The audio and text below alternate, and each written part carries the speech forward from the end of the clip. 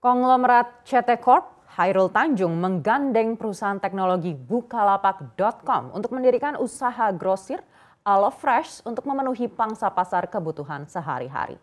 Selain mencapai kesepakatan Bukalapak, pemilik PT Trans Retail Indonesia ini juga menggandeng perusahaan ekuitas swasta Growtium Capital Partners. Secara bersama, perusahaan tersebut akan mengguyurkan investasi sebesar 1 triliun rupiah untuk membangun Alo Fresh. Nantinya Trans Retail akan menggenggam 55% persen saham.